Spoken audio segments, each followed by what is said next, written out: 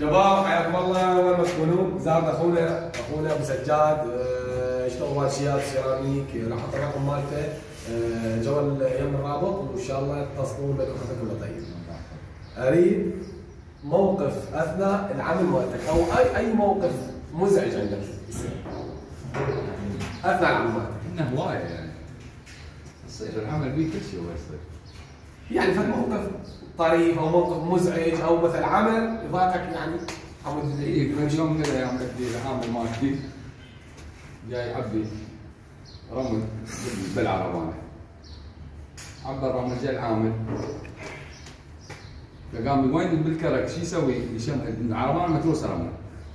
فهو قام يدب وين بصف العربانة. دفع العربانة العامل أخذها. من اخذ ال- العربانة العامل. مو عبى الرمل قال له هذا ال- الرمل اللي بصف ال- العربانه قال له زين وهذا مشي له زين اي مثل صعوبات العمل اصعب طريقه أو أو بالعمل ما تكس مثل صعب عندك لا، مثلا. هي ماكو ماكو ابو مصلحه يطلع إيه، منه بس اكو امور متعرقه مثلا اثناء العمل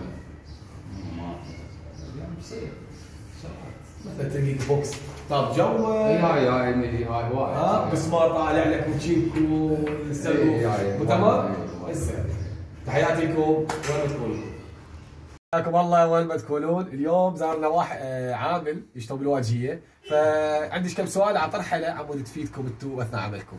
أصعب موقف صار لك اثناء العمل؟ والله الدرج موتني. يا صاعد يا نازل يا صاعد يا نازل زين شلون ده هو وسيلة لازم صعد أثناء الدرج لازم صعد وسيلة يعني المواد على الدرج وين صعدها؟ أبو البيت شامر ونشتغل إحنا بهذا البيت شامر مواد بذاك البيت. وانظر انقل منها واصعد منها انقل منها واصعد منها. يا شباب أهل البيوت أيوه. الله يبارك فيكم. المواد جيبوها قربوها يم البيت. لاجل أخونا العزيز قناوي الغالي. نشكركم إحنا. تحياتي لكم. شباب حياكم الله. وين ما تكونون؟ ابن اخويا سجاد آه، اشتغل سيراميك؟ آه، درجة أولى واجهيات آه، تطعيم. اليوم عندي سؤال. أظرف طريق صار لك طلع طريق؟ أو اصعب أصعب. يلا. شنو؟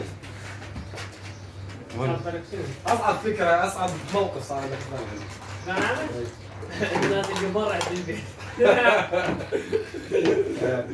الله ما تكونون اليوم موضوع موضوع كل الناس تعرفه. العمالة دائما يشابون منها ويقولون ما بها مستقبل. فيشوف رأي أستاذ ماوي يعني. يقولون العمالة ما بها مستقبل. وأنت ما عندك وظيفة. آه، بس أمامك عمالة. وتستهين تشتغل بيها. شنو الأسباب؟ هي صحيح ما بين مستقبل. أي. يعني لا- الانسان أقصى شيء يريد يعيش فيه إيش قد؟ 20 سنة. يتعب يتعب المستعمر الولد إيش قال؟ قال أنا ما أقدر أشتغل. هي يوم سؤال سؤال الصين.